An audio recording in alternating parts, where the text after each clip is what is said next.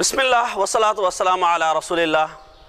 విశ్వాస సోదరులారా వరాల వసంతం రమజాను మాసమన్న ఈ కార్యక్రమంలోకి మీ అందరినీ ఇస్లామీయ పద్ధతిలో ఆహ్వానిస్తున్నాము.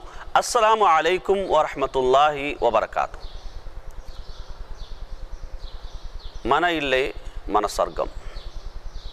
మన ఇల్లే మన పాలిట నరకం. దాన్ని నరకంగానైనా చేసుకోవచ్చు నరకంగానైనా మార్చుకోవచ్చు. ఈరోజు మన పరిస్థితి ఎలా ఉంది అంటే ప్రతి ఒక్కరూ బిజీ బిజీగా జీవించేస్తున్నారు.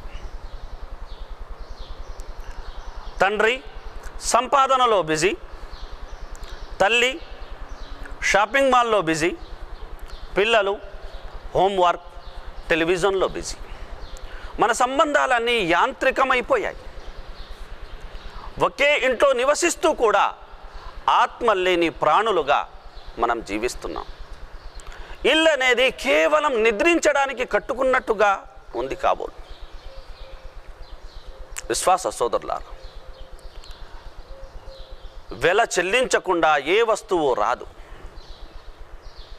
అదేవిధంగా మనం ఎలాగైతే అన్యులకు చెబుతామో వల్ల అన మషగూల్ నేను చాలా బిజీని ఈ మాట మన పిల్లల విషయంలో మన పరివార విషయంలో మన పరిచయస్తు పరిచయస్తుల విషయంలో మనం అనకముందు వంద సార్లు మనం ఆలోచించాలి.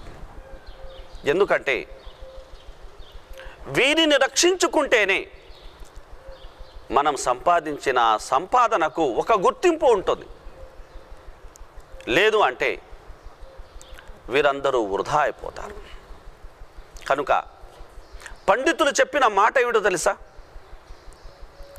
అమ్మా నాన్న లేనివారు కాదు అనాథ. అమ్మా నాన్న ఉండి కూడా బిజీ బిజీగా గడిపే తల్లి ఉండడం సమయం ఇవ్వలేని యొక్క తండ్రి ఉండడం అనేది అలాంటి తల్లి తండ్రులు కలిగిన యొక్క సంతానం నిజంగా అనాథ అని పేర్కొనడం జరిగింది. కనుక రేపు